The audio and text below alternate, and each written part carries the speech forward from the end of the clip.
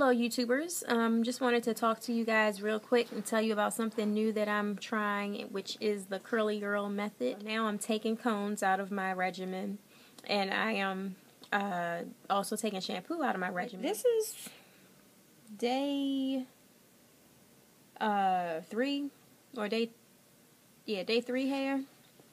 Maybe it's, yeah, day three hair. So what I did was I used um, I shampooed my hair with Kink, Come Clean, Kinky Curly Come Clean, um, to get out all of the um, any cones that I've already was using. Um, I I know that Kinky Curly is like a botanical type of shampoo, but to me it really feels like it strips my hair, like it makes my hair kind of dry. So I won't be using that anymore. So I feel like it's it's good to use to kind of start off the curly girl method. So I used that, and then I used um, Tresemme Naturals, the one with the moisturizing one. I used that, and I left it in my hair, smoothed it through, detangled, um, rinsed out very little, and I just you know kept some in and then I afterwards used my um, Eco Styler gel over top. I first tried uh, Fruit of the Earth, the aloe vera gel, and I noticed like little white residue, like little balls kind of forming. So I like rinsed that out. So and then I put in the Eco Styler gel, but I still kind of noticed there was still some residue. So what I did was I um, did the little scrunching method method with the t-shirt.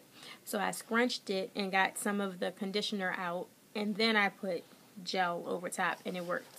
I'm pretty excited uh, to try this out and see how it works for me. The only thing I don't like, like I've worn my hair like this before. Like I would mix in, mix conditioners, oils in with Eco Styler gel and just use that as like a styler. And I still have some of that at home, but I don't know what I put in it, so it may have cones. So I'm I might not use it. I don't know. But um like I said, I've done this type of thing before, but I don't like that it looks so flat. Like I like a little more volume. Um, my hair is fine, so it isn't going to look that big. Right now my hair is still wet.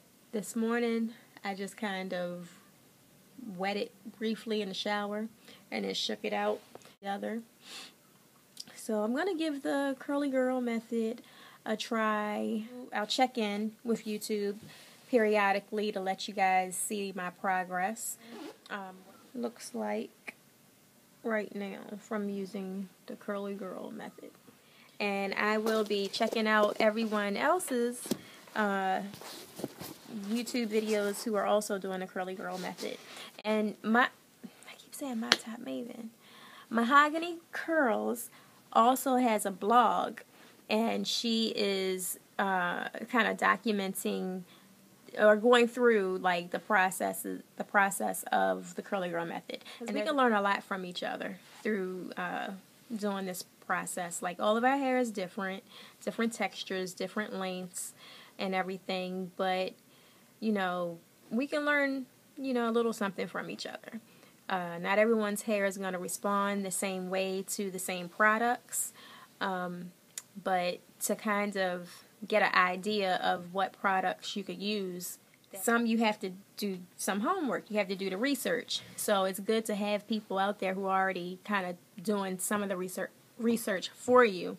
But it's also important to take your hair care into your own hands and do some digging yourself to see what's out there for you. That being said, I'm going to finish this video and um, do some research. Thanks for watching. Um, uh, I will post some pictures.